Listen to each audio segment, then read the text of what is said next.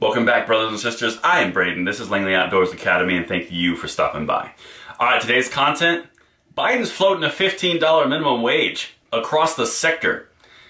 I'm telling you, from an economic background, that's going to kill the economy, flat out. But we're going to focus on a very specific subset of the economy, the retail gun industry or gun shops. Now, before we go too deep into that, I'm going to talk about the newsletter for a second because you guys are killing it. The newsletter, if you guys have not been aware or not signed up, basically the newsletter serves two functions. It allows us to communicate in underground communication because I'm telling you we are on the cutting edge and we need to be able to communicate. That's one. The second one, I'm sending out free um, ammo links every Friday for pistols, every Tuesday for rifles. Anything I can find, I throw it in there. If there's mags I can find, I throw it in there and it's free and I ship it right to you. Um, I want to make sure you guys are flush, make sure you're good to go, and it's in that email inbox. The newsletter sign up is in the description box below. Get it on there, get your friends on there because this is the cutting edge and I'm telling you this is the next evolution. This is the response to what I'm about to tell you about. So, the $15 minimum wage it is an economy killer. Flat out, I'm just telling you, it's one of two things that are going to happen. Again, from an economic perspective, you're either going to have, well, you're definitely going to have a labor increase, a cost of labor. The labor uh, increase is actually going to surpass the point at which machines are cheaper, so these people aren't going to have jobs. That's one option. The other option is these people who are at the bottom rungs who require that who are going to be affected by that $15 minimum wage. There's going to be less workers in the same environment because business owners have two choices. They can either raise prices to accommodate more expenses or they can fire workers because they have to keep those expenses the same. It's one of two. So either service goes down or employment goes down. It's one of those two things or the, com the company goes out of business flat out. Okay?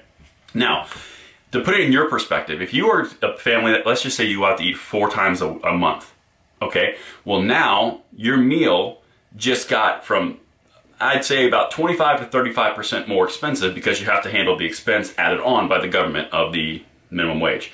So now you can't go out to eat four times, you can only go out to eat maybe two and a half to three times.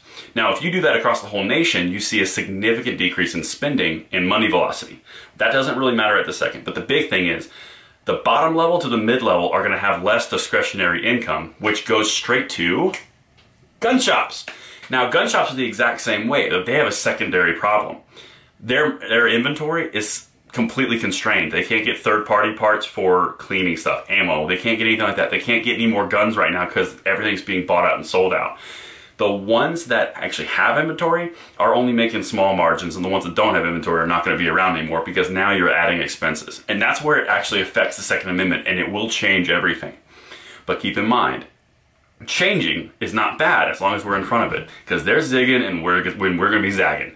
So that's the importance of this newsletter, guys. We're getting in the front. You and I are forging this new revolution in the gun world because in two to five years, I promise you, you will not see the same gun world. It will be completely different. In my opinion, it'll be more efficient, more streamlined, and a lot easier.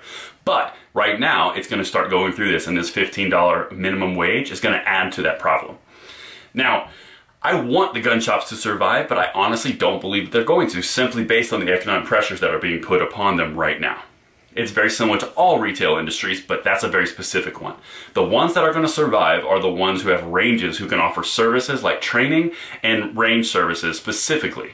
That's where you're going to start to see the survivors versus the die off the vine because they're actually offering something they can make margin on and revenue on versus none. And that's the really big thing I want to bring to you guys.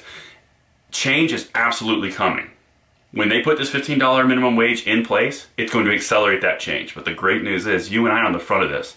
In this newsletter, we're going to be so far in front that everyone else can be trying to figure out what's going on, where they're getting the goods, how they're doing it. And you and I have already established this, and we're going to have some amazing fun doing it because we are on the cutting edge, baby. When a bunch of us get together, we can do amazing things, and that's what this newsletter is all about. We have amazing hope in the Second Amendment because it's not getting worse, it's just changing, and in my opinion, for the better. But leave your comments in the field below. What do you think? You think I'm way off base? Am I crazy? Am I just some stupid guy on the internet? I don't know. But I'm telling you, this is where it's going, and I want you guys along the ride with me because I am hella excited. But until I see you tomorrow, I'm Braden. Thanks for stopping by.